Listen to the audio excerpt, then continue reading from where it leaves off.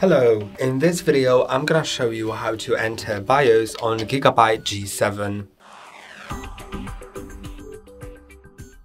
First of all, shut down your laptop if it's currently on um, and once you shut it down, wait for about 15 seconds, then press on the power button shortly and immediately after releasing it, start pressing on the F2 key repeatedly.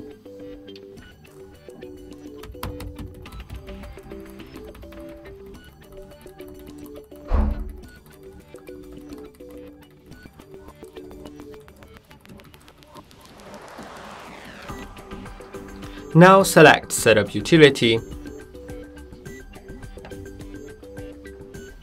And now you're in BIOS.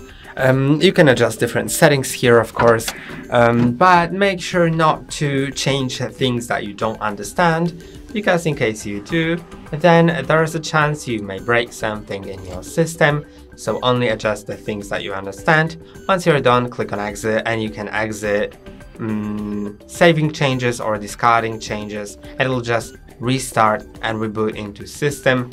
And that's all for today. Don't forget to like and subscribe. See you next time